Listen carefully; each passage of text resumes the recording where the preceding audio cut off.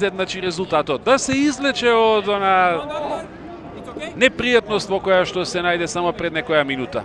И погледнете, еден наивен излет на гостинскиот голман.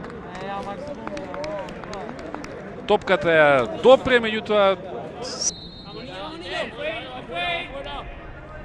Судбината на мечот е во нозете на Митровски или ако сакате во рацете на Мартинес.